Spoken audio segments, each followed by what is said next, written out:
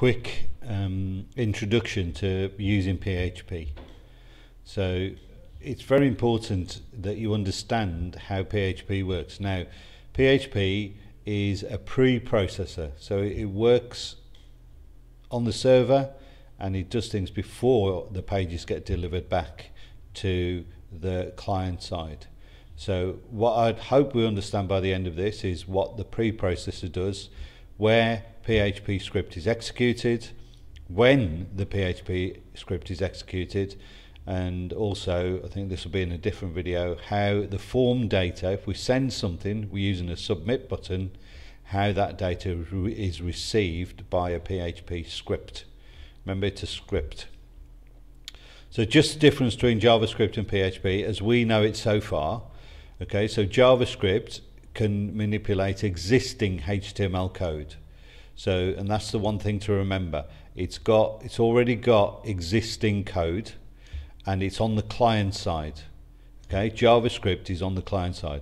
It doesn't include any PHP elements. Okay, so when it gets to the client, all the PHP elements will be removed and it's just left with HTML and JavaScript uh, in there. PHP modifies the HTML code on the server side. Okay, make sure you understand that, that it's on the server before it's delivered back to the client and this code can include JavaScript. So you can even use PHP to modify the HTML and add JavaScript elements into it. Okay, so what do we mean by pre-processing? So pre-processing means that the web page is processed on the server before it's delivered back to the client okay? So this word here server side is important. Remember we've got two sides to this. Uh, there's the client side just on where we are with our machine and then we've got some stuff going on on the server side. So here's a server file. This is a file here this one that's held on the server. And you can see there are elements of PHP in there. So we've got question mark PHP. So we don't use script, um, we use uh, open brackets question mark PHP and then we close that with a question mark PHP uh, question mark bracket. And anything inside there is now PHP code. So that will be processed before the page is sent back. So you sh you should be able to see that we've got um, we've got some variables here so we PHP we always use dollar as prefix for variables.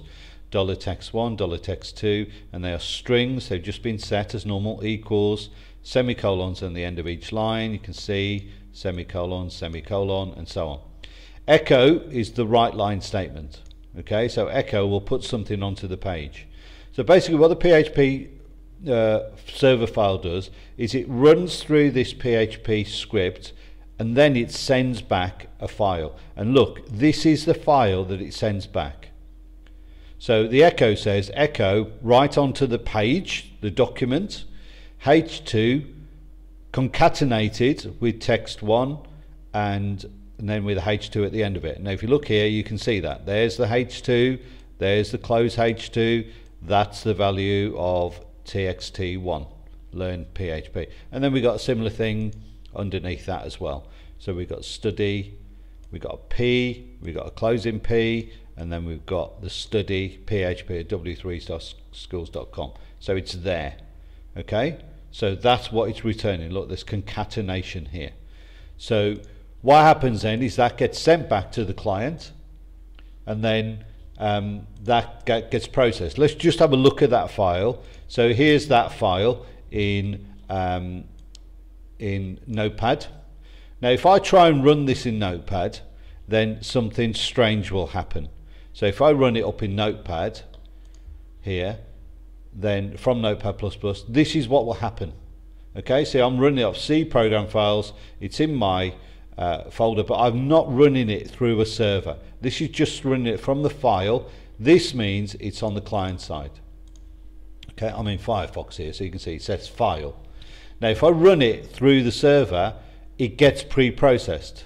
So here I've got my server look here at the top 127.0.1 and then forward slash it's in the PHP folder these are my PHP files this is my test one. So now if I click on that, it actually processes it and sends it back to me. And if I view the source on this, you will see there's no there's no PHP in there. It's been pre-processed and it's been sent back to me. Okay, so what we mean by pre-processing is that. Okay, so this is my file that's held on the server and when I call it from my client, okay, call it from my client, I've got to call it using the server, there's the IP address of the server and then then I've got the path to that file. So it's in 127.0.1 PHP test.php and then it pre-processes it.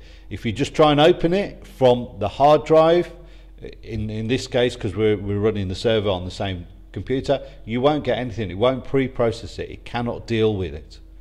Okay? So that's what you need to remember about pre-processing.